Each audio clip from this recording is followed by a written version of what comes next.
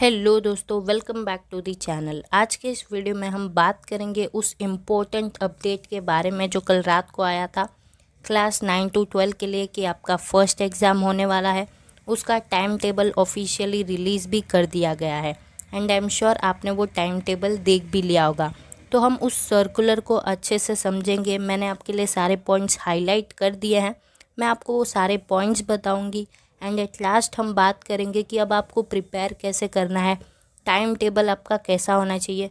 Overall कहूँ तो ये वीडियो बहुत इंपॉर्टेंट होने वाला है। So without any further delay let's get started तो यहाँ पे देखो, सबसे पहले यहाँ पे फ़र्स्ट जो पॉइंट है, वो ये है कि क्लास नाइन टू ट्वेल्व का एग्ज़ाम होने वाला है फ़र्स्ट एग्ज़ाम कब से होने वाला है? डेट क्या है? तो जो डेट है, वो है अठारह अक्टूबर से लेके सत्ताईस अक्टूबर तक। यानी कि एटीन अक्टूबर से लेके ट्वेंटी सेवन अक्टूबर तक आपके एग्ज़ाम्स हैं।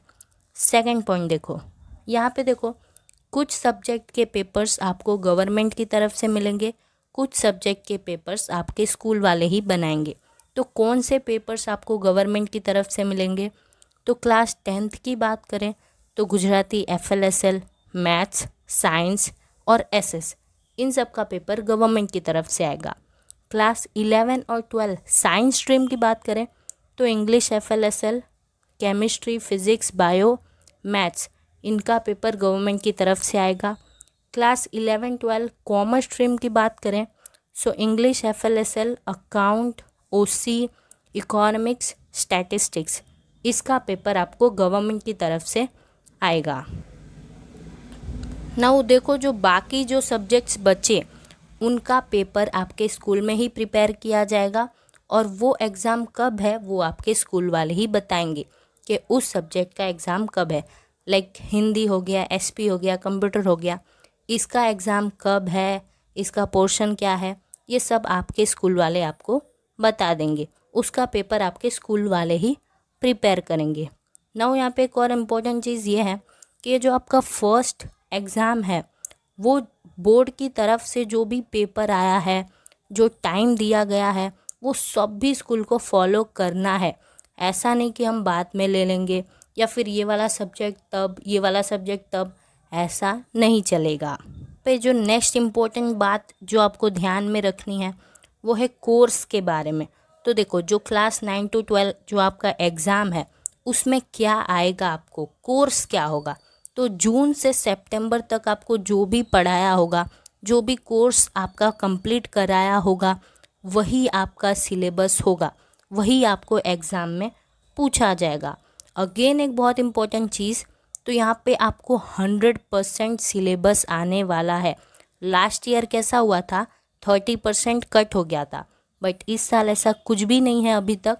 आपको हंड्रेड परसेंट प्रिपेयर करना है। कुछ भी कट नहीं हुआ है। अब देखो एक इम्पोर्टेंट चीज़ पैटर्न के बारे में। सो so, यहाँ पे क्लास नाइन टू इलेवन और क्लास ट्वेल्व कॉमर्स स्ट्रीम का पैटर्न कैसा होगा? तो ट्वेंटी परसेंट आपको आएँगे short answer short answer in the sense one marker यानी कि एम सी क्यू या वन मार्क सेंटेंस वो सब। और बाकी के जो एटी परसेंट आपका जो पेपर होगा उसमें क्या होगा? तो उसमें होगा आपका two marker three marker five marker okay बाकी सिर्फ़ क्लास ट्वेल्व साइंस स्ट्रीम का पैटर्न कैसा होगा? Fifty percent M C Q and fifty percent question answer. ना यहाँ पे जो नेक्स्ट इम्पोर्टेंट चीज़ है, वो भी आप देख लो। तो यहाँ पे class nine eleven commerce stream हो या साइंस स्ट्रीम हो, उनका जो एग्ज़ाम होगा, वो पचास मार्क का होगा और उनको दो घंटे दिए जाएँगे। जबकि क्लास टेंथ का जो एग्ज़ाम होगा, वो होगा अस्सी मार्क का और उनको मिलेंगे तीन घंटे।